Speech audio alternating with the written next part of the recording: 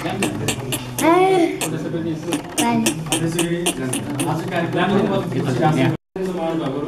झारखण्ड गर्न चाहन्छु सम्पूर्ण नमस्ते म सन्दीप कोटी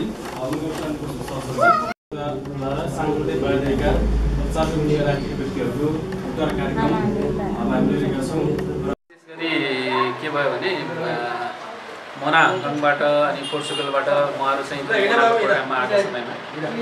नार्चाङ चाहिँ त्यो तातो पानी डुब्न जानुभएको बेलामा नार्चाङमा यो स्थिति चाहिँ उहाँले देख्नु भएको छ र उहाँले ओम कुमारी शान्ति कोषलाई चाहिँ सम्झिनु शान्ति कोषलाई सम्झिसकेपछि त्यही अनुसार कुराकानी हुँदा त्यहाँ नार्चाङको सर हुनुहुन्छ तेज गुरुङ उहाँहरू मार्फत सम्पर्क गरेर उहाँहरूको डकुमेन्टहरू हामीले जम्मा गरेर चाहिँ नि पोखरा गयौँ।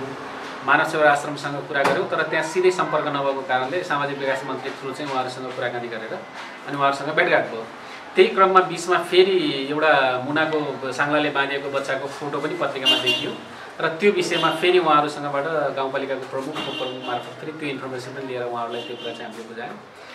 दुई चार दिन अगाडि नै उहाँहरूले आएर उद्धार गर्ने कुरा चाहिँ भइरहेको थियो तर अहिले चाहिँ नि हाम्रो कारणले गर्दाखेरि अलि हामीले चाहिँ ढिला गऱ्यौँ र आज मानव सेवा आश्रम पोखराको तर्फबाट बागलुङको तर्फबाट साथीहरू आउनुभयो अनि नार्चाङ गयौँ नार्चाङबाट दुईजनाको लाई लिएर आयौँ। त्यसपछि बिनी अस्पतालमा फेरि एकजना बेवारिसी अवस्थामा भेटिएको भन्ने कुरा अध्यक्षले जानकारी गराउनु भयो र उहाँलाई पनि लिएर आयो। को कहाँ भन्ने थाहा छैन।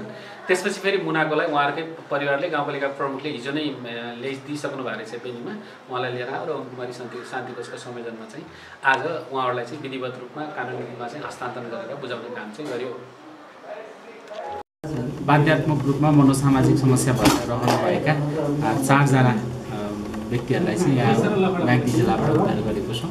एकजनालाई सडकमै बेहोरेसी अवस्थामा हामीले पायौँ भने दुईजनालाई अन्नपूर्ण गाउँपालिका र एकजनालाई चाहिँ धवलाइपुरी गाउँपालिकाबाट उद्धार गरेर अहिले मानव सेवा आश्रम शाखाले पोखरा लिएर जिल्लामा रहनुभएका विभिन्न ठाउँमा विभिन्न समयमा बाँधिएर थुनिएर र बेवारिसी अवस्थामा रहनुभएका व्यक्तिहरूको आज सामूहिक उद्धार कार्यक्रम भएको छ। यो संयोजनकारी भूमिका निर्वाह गरिदिनुभएकोमा ओम कुमारी शान्ति कोष परिवारलाई एकदमै हृदयदेखि नै धन्यवाद दिन चाहन्छु र यो सबै सेवाको संयोजनदेखि लिएर कोअर्डिनेसनको सबै भूमिका निर्वाह गर्नुभएकोमा आदरणीय सर लाई पनि म हृदयदेखि नै धन्यवाद दिन चाहन्छु र विशेष गरी मानव सेवा आश्रमको बारेमा भन्नुपर्दा दुई हजार उनासत्तरी सालबाट सुरुवात भएको यो मानव सेवा आश्रमको मानवताको दियालो। आज देशको सातै प्रदेशहरूमा आफ्नो सेवा केन्द्रहरू सञ्चालन गरिराखेको छ।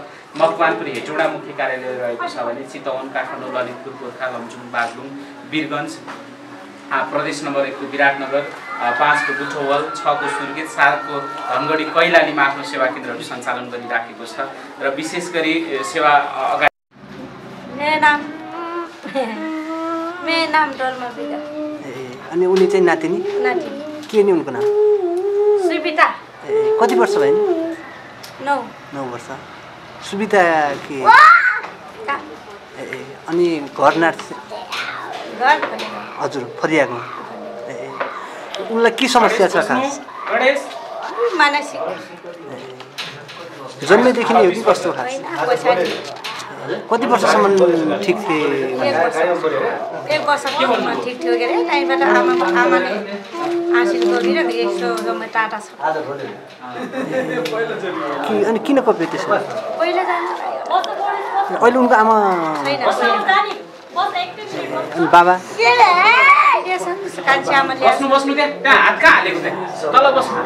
अनि खास के के थाहा पाउँछ के के थाहा पाउँदैनन् केही थाहा हिसाब नलाइन यस्तै गरी। केही पनि थाहा पाउँदैनन्। गणेश बस्नु त। र अहिलेसम्म कसरी राख्नु भएको थियो त उनलाई घरमा? हजुर। अहिलेसम्म कसरी चाहिँ पाल्नु भएको थियो त घर मैले हो। ए, ए। मैले पालेँ। अनि घरमा कसरी राख्नुभयो उनलाई अहिलेसम्म? सानो हुनसम्म वैशाखबाट चाटपिटी घटाउन सकिनँ। अब मेरो म घर हुँदाखेरि ओरो पोरो डुलाउने गरेँ अब म कामपातमा गयो भने अब छोराछोरी भर नपर्ने अन्त त्यहीबाट ए। अनि अहिले चाहिँ अब पोखरा पठाउँदै हुनुहुन्छ? हजुर। अब चाहिँ पोखरा पठाउँदै हुनुहुन्छ? हुन्छ, पोखरा के कस्तो खालको के हो हामीले राम्रोसित बुझाइदिनु। हामीले नि बुझ्नु पऱ्यो। अब नानीले अब लगा लगे दिने हो कि फर्काइलि फर्काएर दिने हो कि? मानिसको अब जब त्यो उपचार सुचार हुन्छ हुँदैन। अब पाल्ने मात्रै हो कि हजुरहरूले? अब के चाहने गर्नुहुन्छ कि? त्यही हो। अब नानीले त अब टिकटिकै दिनु त सक्दैन। सानो त एक वर्षबाट पालेको अब बौला भयो नि भाङ्जा भयो नि जे भयो नि पानीहरू भयो नि पालियो। अब एक वर्षबाट नौ वर्षसम्म पालिएपछि त अब के गर्नु? अब सरकारले अब चाहनु पनि फेरि मको मको फर्काएर घर लाग्नु मिल्ने हो भने दिन्छु होइन? अब फर्केरै नदिने हो भनेपछि फेरि अलिक गाह्रो पालेको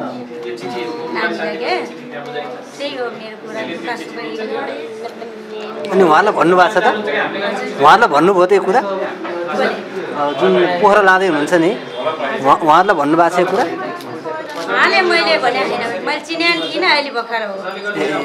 आज लिएर आउनुभएको हिजो हिजो हिजो चार बजी बेलुका आएर उहाँ होटलमा यसको नाम चाहिँ गणेश पूर्जा हो अनि यो चाहिँ बिमार भएको चाहिँ नौ दस वर्ष भयो पक्का नबोलेको चाहिँ चार पाँच वर्ष चार वर्ष भएको लास्ट नार्सेङ गाउँमा नार्सिङ गाउँ कति वर्ष भयो नि छब्बिस वर्ष छब्बिस वर्ष हुनुहुन्छ ए कति वर्षसम्म उहाँ ठिक हुनुहुन्थ्यो? हजुर उहाँ कति वर्ष उमेरसम्म ठिक हुनुहुन्थ्यो? कति वर्ष उमेरसम्म ठिक थियो भने पन्ध्र सोह्र सत्र वर्षसम्म ठिक थियो। खास के भएर यस्तो भएको कि चाहिँ सानोमा अब त्यस्तै हल्का हल्का गाँजाहरू खायो। कामले सुरु गऱ्यो अनि हामीले चाहिँ धेरै उपचार गरियो। लामा झाँक्रीहरू पूजाहरू गरियो। ठिक भएन। हामीले सोच्यो केले भयो केले भयो भन्ने हो। मानव सन्तुलन ठिक नभएको भन्ने कुरा चाहिँ बल्ल अहिले पत्ता लगाएर। यहाँ होस्। अब पोखरा पठाउँदै हुनुहुन्छ साथीहरूले। अब पोखरा पठाउँदै हुनुहुन्छ उहाँलाई। अब पोखरा पठाउँदै हुनुहुन्छ उहाँलाई। पोखरा बसाल्दै हुनुहुन्छ उहाँलाई अब।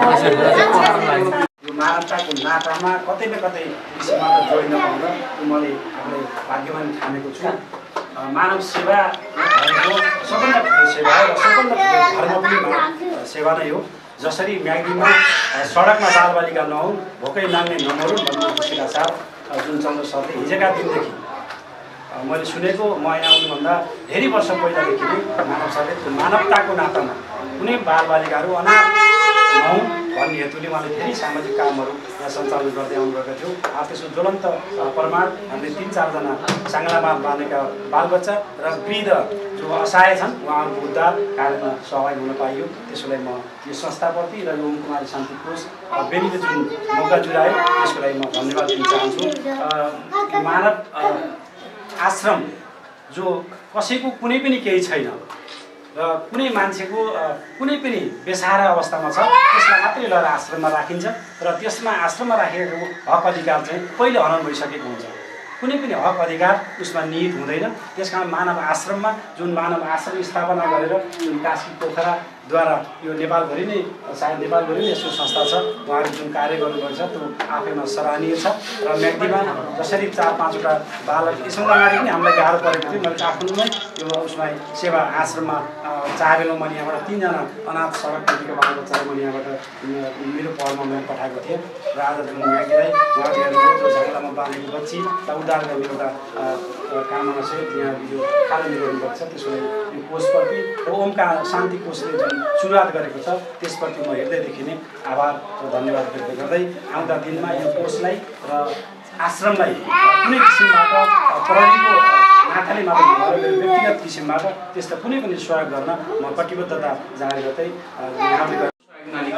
सम्पूर्ण नेपाली उदारमना व्यक्तिहरूको मुठी मुठीको साथ सहयोग प्रेम र सद्भावहरूलाई कसले यो विषयमा बोलिदिने?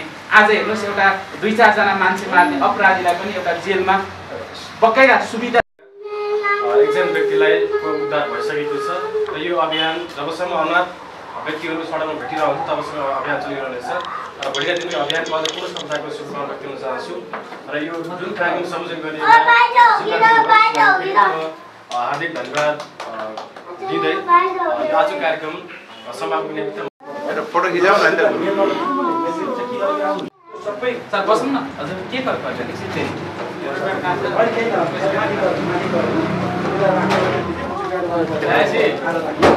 नानु आऊ।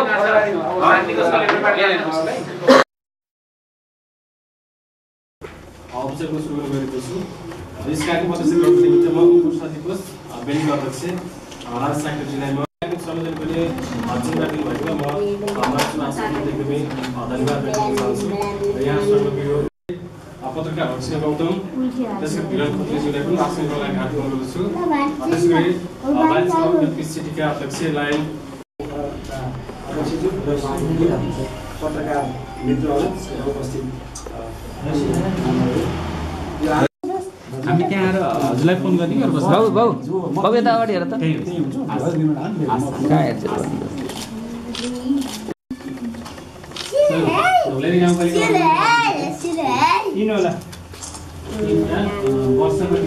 सबै सर बस्नु न। हजुर के गर्छु,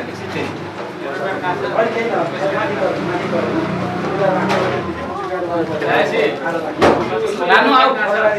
¿Qué es eso? ¿Qué es eso?